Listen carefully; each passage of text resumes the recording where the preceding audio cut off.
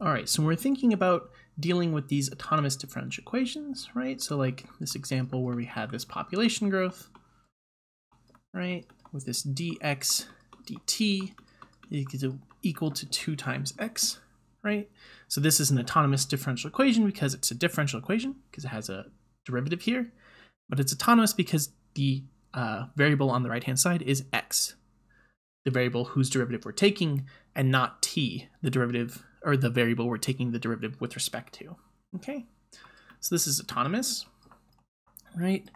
And we've seen uh, a couple ways to deal with these right now, right? So we've seen how to solve this, right? Numerically using Euler's method, right? So this generates those approximate solutions to the differential equation to kind of see what that system does over time. We've looked at it using uh, phase line diagrams, right? And we've looked at the equilibriums and the stability, right? So these would say, okay, let's plot that. Um, let's plot that function, right? Two times x. Well, that's just a linear function, right? So this is f of x equals 2x, right? So then this would be x versus dx dt.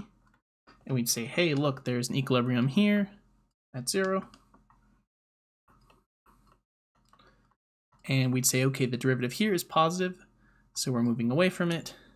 Um, and on the left, it's negative, so we're moving away from it in that direction too, right? So if I finish the axes here. So population growth, really only thinking about the positive quadrant, but in any case, uh, if we had, you know, negative values were allowed, then this would say, hey, that's uh, growing away from the uh, equilibrium point in the negative direction as well, right? And so we'd say, okay, that's unstable, right?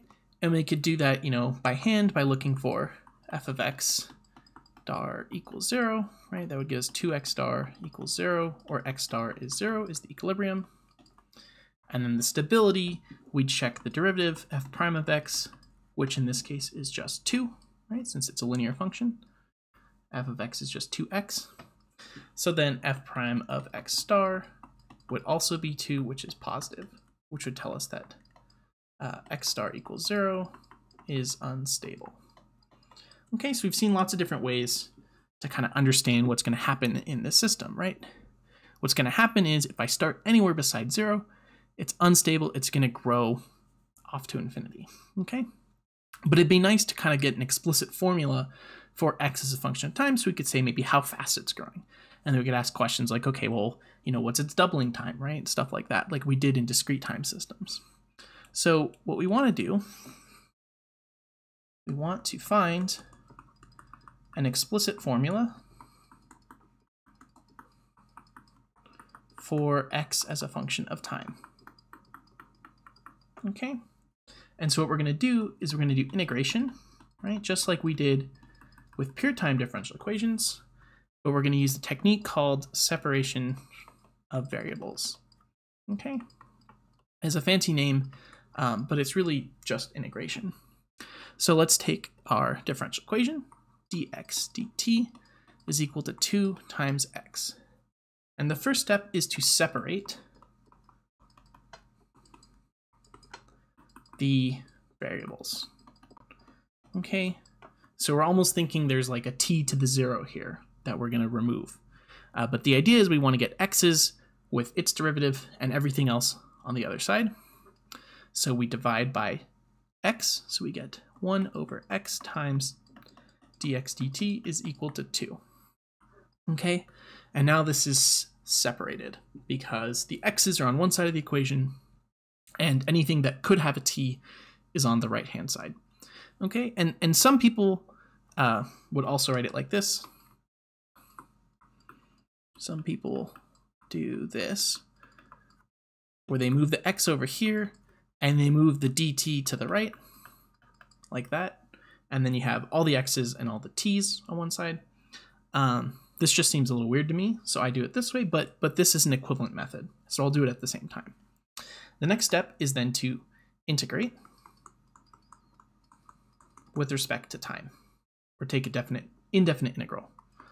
So we integrate this. 1 over x times dx dt. dt is equal to integral of 2 dt. Right, so I'm taking the indefinite integral with respect to time of both sides of the equation. Okay. If you were doing it this other method, then you would integrate them um, and the kind of differentials are already there. Right, so this one's already dx and this one's dt. So this is equivalent to, because at this step, right, now I have integral of 1 over x dx dt, dt, right? We know from doing lots of u substitution stuff that the dt's cancel here, and we're left with uh, 1 over x dx is equal to integral of 2 dt. Okay, so at this point, you know, if you if you wanted to conceptualize it uh, using this blue method on the right, well, now they're exactly the same. Okay, so it's just one extra step, but I think it makes it a little bit less confusing to me. Okay, so then we do these integrals, right? So the left hand, the left hand integral is 1 over x dx, right? So what function has derivative 1 over x? Well, if you remember, it's ln of x. So we do ln of absolute value of x plus a constant, let's call it c1. And then the other integral is going to have its own integration constant. So this we integrate up with respect to time. So this was an integral with respect to x, right? So that became natural log of absolute value of x. This one's going to be with respect to time. So this is going to give us 2t plus c2. And whenever you do this separation of variables, uh, the right-hand side integral is always going to be, or generally going to be this kind of uh, constant, very, uh, you know, just a constant sitting here, so you're always going to get like a constant times time.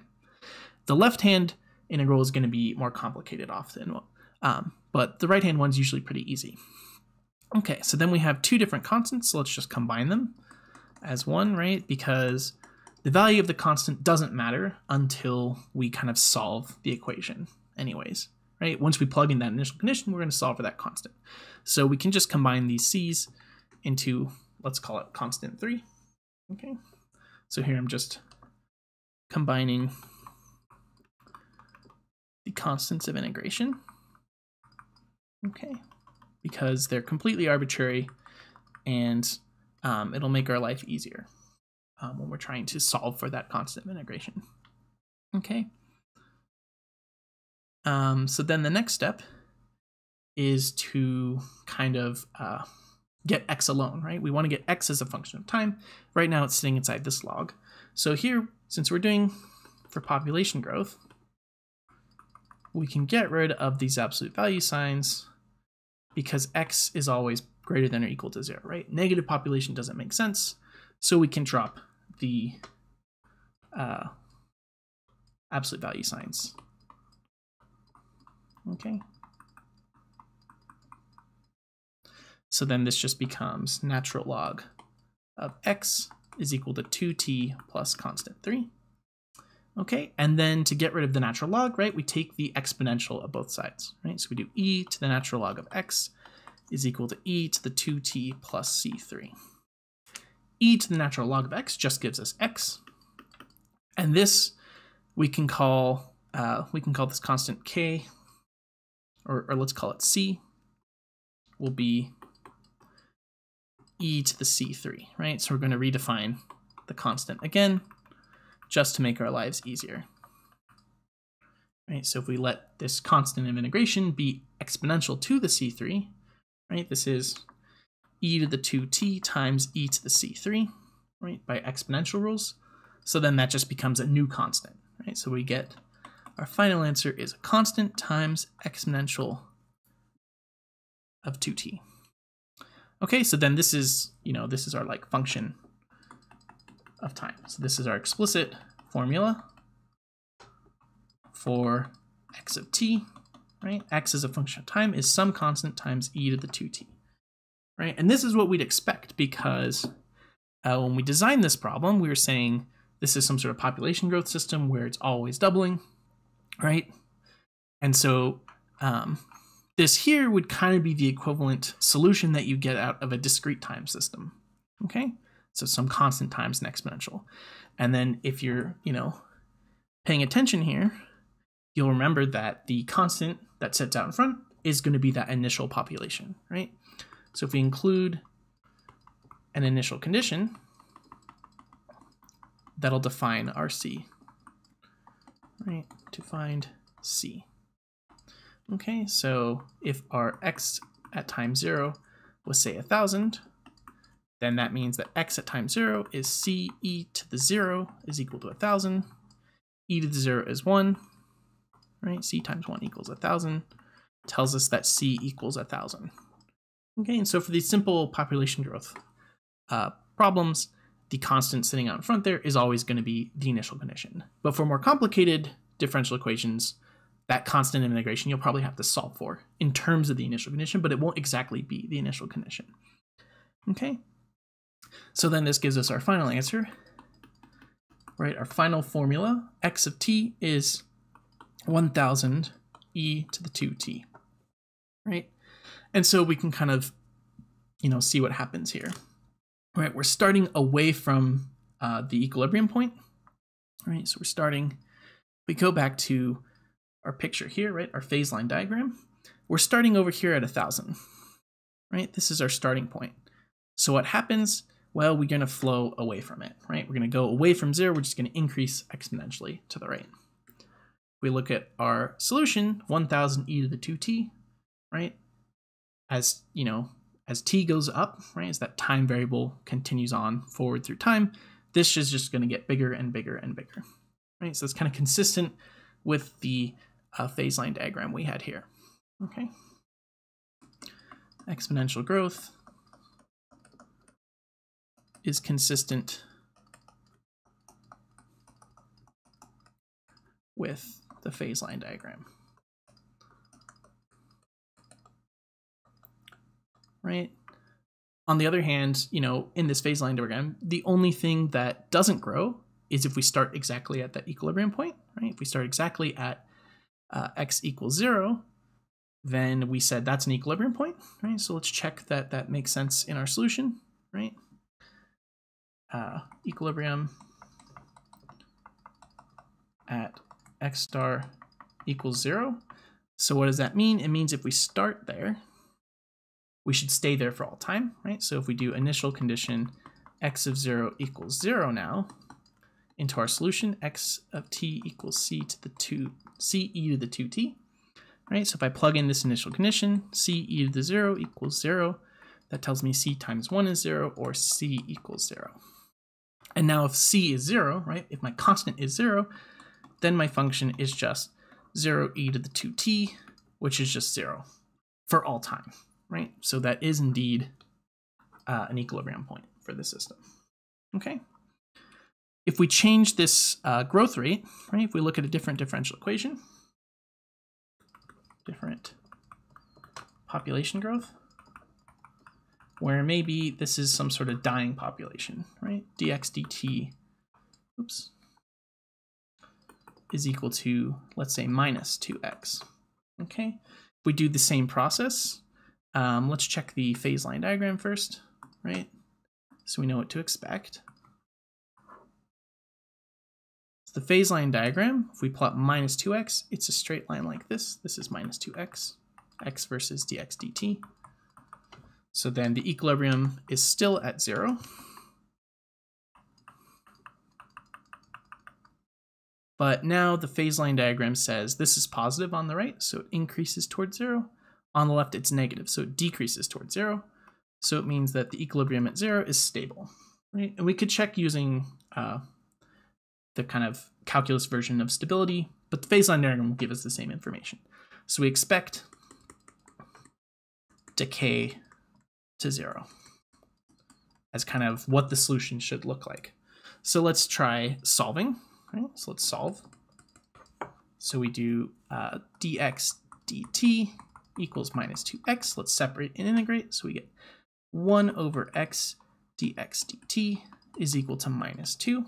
Integrate both sides with respect to time. 1 over x dx dt dt equals integral of minus 2 dt. Okay. This again is going to give us natural log of x plus a constant is equal to minus 2t plus a different constant, which we can combine, right? X is population.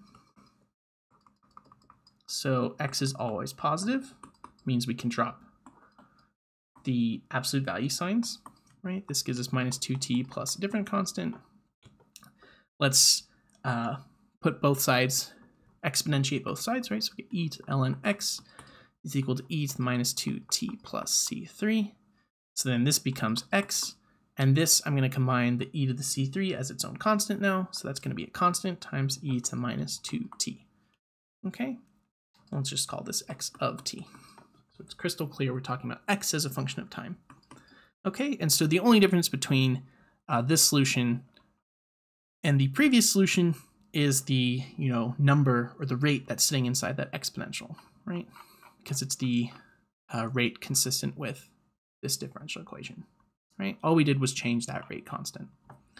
Okay, so then in this case, right, let's say I start with some uh, same initial condition, right? So let's use the initial condition x of 0 is 1,000 again, right? So starting with some big population, plug that in, we get x of 0 equals c e to the 0 equals 1,000. So that means that c is 1,000 again, right? So then our solution is x of t equals 1,000 e to the minus 2t, okay? But what happens to this, right? As t goes up and up and up, this exponential is going to get smaller and smaller and smaller, and it's going to go to zero, right? So now this is exponential decay, which is consistent with the prediction that we had here, which was we expected our solutions to decay to zero because the zero equilibrium was stable, right? And there's no equilibriums anywhere else, so the solutions have to flow towards that stable equilibrium state. Okay, which is consistent with uh, this here. Okay, and if we plugged in zero as our initial condition, we'd stay at zero. Uh, but that's kind of not, not as interesting in this case because all solutions are decaying to zero. Okay, cool. So in the next video, I'll do a, a different example, maybe a more complicated system, uh, but we'll end this one here.